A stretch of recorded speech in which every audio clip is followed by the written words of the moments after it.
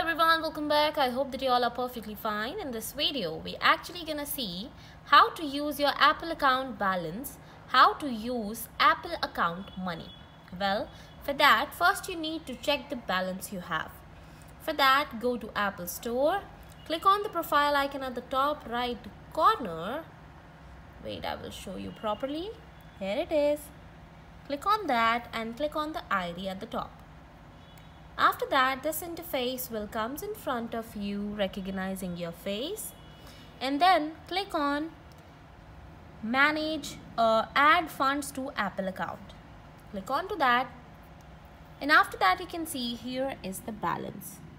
Your balance is zero right now. Now how to actually if you have balance here, how to use it? Well, you can use it by purchasing some apps, some things from Apple Store and whatever you want. Now if I show you what you can do is that here are some paid apps actually. As you can see this Magic Rummy get it's free but this Minecraft Play with Friends is rupees 29.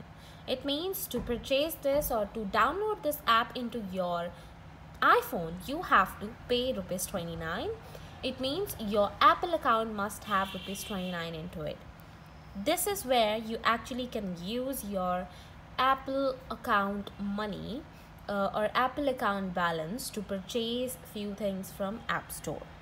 So, I hope this is going to be informative for you and you will get the solution of your problem. Thank you so much and may you all have a great day.